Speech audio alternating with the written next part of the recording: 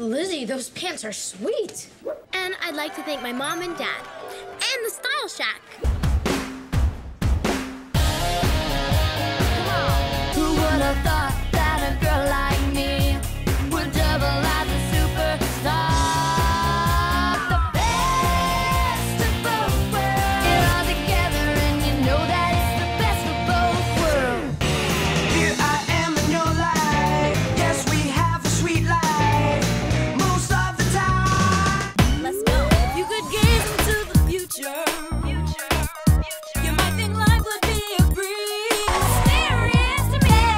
Yep, that's me.